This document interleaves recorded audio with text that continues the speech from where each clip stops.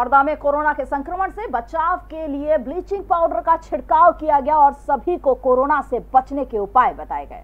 हरदा के ग्राम पंचायत झाड़पा में कोरोना महामारी से बचाव एवं रोकथाम के लिए गाँव में ब्लीचिंग पाउडर का छिड़काव किया गया।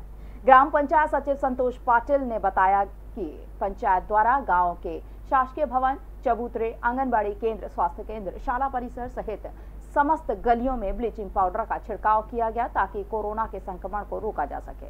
साथ ही पंचायत के कर्मचारियों द्वारा ग्रामीण को हाथ धुलवाने के महत्व के बारे में भी बताया गया। इस मौके पर सहायक सचिव अमित मालवीय स्वास्थ्य हितग्राही आनंद ओसले सहित कई ग्रामवासी मौजूद रहे। संगीत की स्वर लहरियों से सांस्कृतिक ताने बाने तक चंबल के पीड़ों से नक्सलवादियों के गढ़ तक झोपड़ी से महलों तक। ठेलों से मेलों तक। पगडंडियों से सड़कों तक। गाँव से शहरों तक। व्यापार से उद्योगों तक। राजनीति से कूटनीति तक। दखन न्यूज़। आपके हक।